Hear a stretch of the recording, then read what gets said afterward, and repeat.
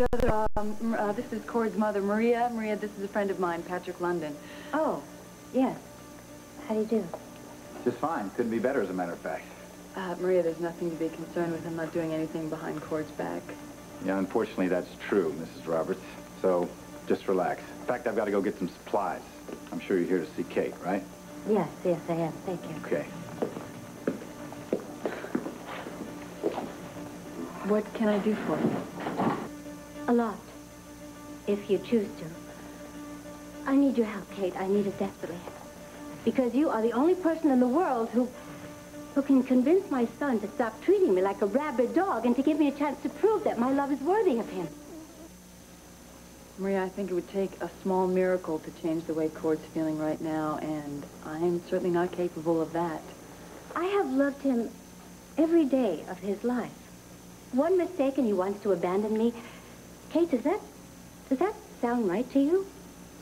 He's very hurt, and he's angry, and he... But I hardly did anything at all. I took, I took an existing situation and I, all I did was try to get Cord's father back into my life. Why doesn't anybody see that as love? Why, why does everybody see it as an illness?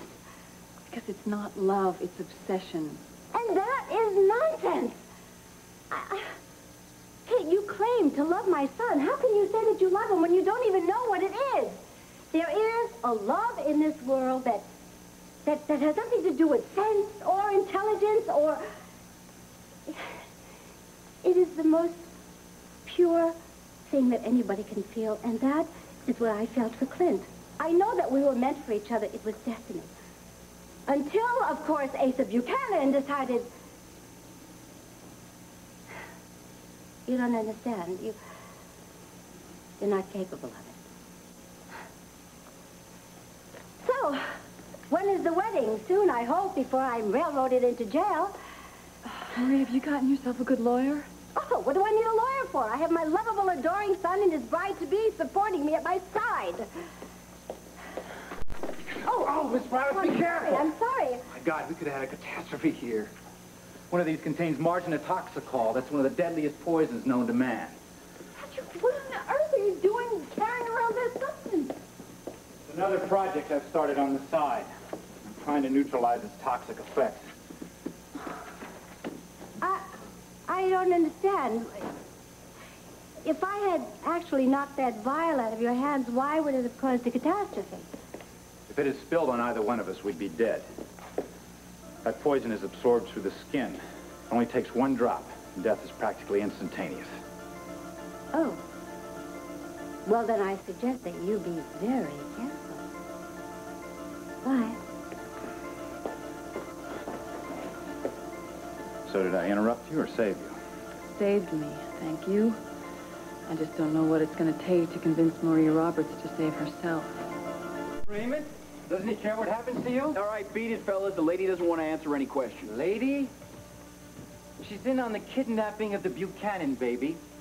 She tries to drive Mrs. Buchanan crazy so she can steal her husband. I am going to sue you and your filthy newspaper for printing all those lies about me. Lies? Well, Mrs. Buchanan doesn't think so. She says you're guilty. Well, and you it's a just been lie. formally charged. It is a lie. Now leave me alone. Okay, folks, that's it. Come on, move. Out, out.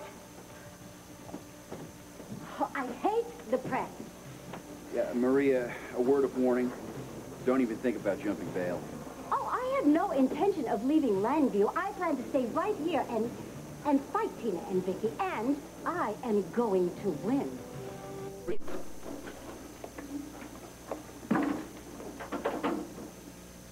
What are you staring at? Uh, sorry, uh, you new around here? I haven't seen you before. Oh, I just started today. Nobody told me about it. Well, I was told to clean up this room. Do you know if it's empty? Uh, Dr. London and his assistant uh, went out a little while ago. Uh, they probably went to dinner. Uh-huh. So I guess that means they're out for the evening, huh? Oh, I don't think so. Dr. London works all kinds of hours. Oh, well, in that case, I better get started. Uh-oh. Use your key. Uh, uh, they didn't give me any key. Oh, dear, what am I going to do? This job is so important. I mean, my life depends on this. I know that feeling. Oh, All right. oh thanks. You are a godsend. Thanks.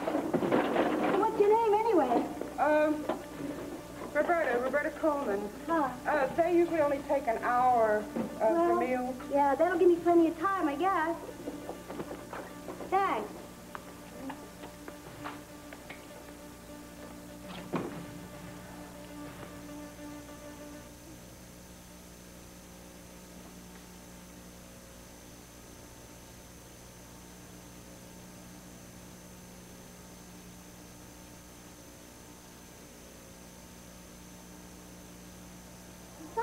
God, we could have had a catastrophe here.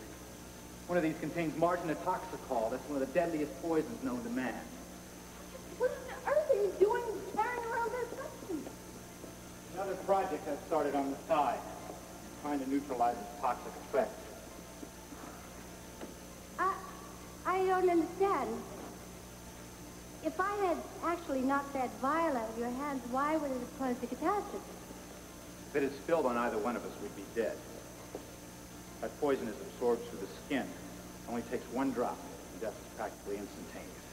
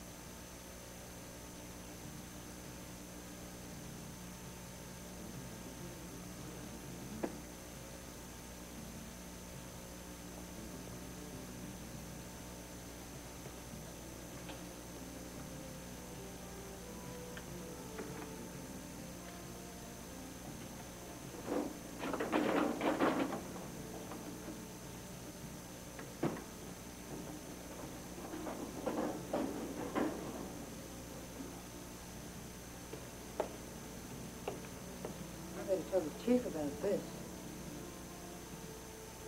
Don't be dumb, Roberta. You're an ex-con. He won't believe you. He'll say you stole the chemical. Stay out of it.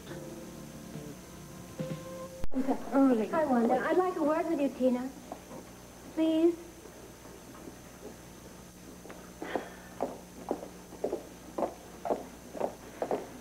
Look, if you were here to threaten me... I thought you'd like to know that I am not going to expose you, Tina. What? Well, I've decided to hold off on, on telling Cord that Al isn't his baby. Why? Well, I thought I would leave it up to Kate to make your life miserable. I've already accepted the fact that Kate and Cord are going to be married. I don't know how accepting you're going to be after... after Kate convinces Cord to take full custody of the baby. What are you talking about? Kate doesn't want to share Cordetto or Al with you. You're lying. Well, don't take my word for it. Go and ask Kate. You can probably find her in, in Patrick's lab over at Sanders Chemicals.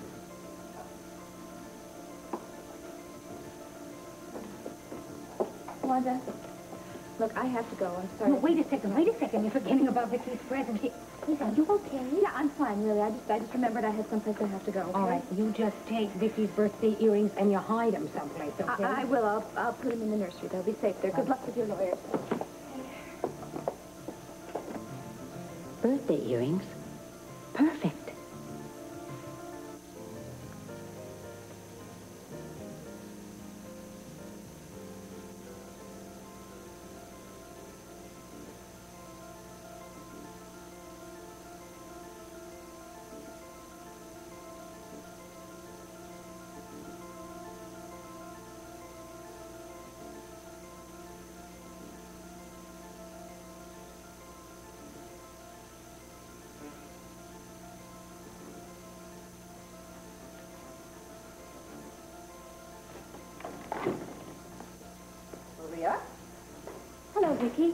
For meeting me.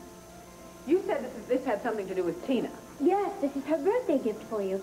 She decided to take little Al for a drive up in the mountains, and she was so afraid she wouldn't get back in time. And, well, she did want you to wear these for your birthday dinner. Go on, open it. Oh, my goodness, how lovely. Go on, put them on, Vicky. Oh, how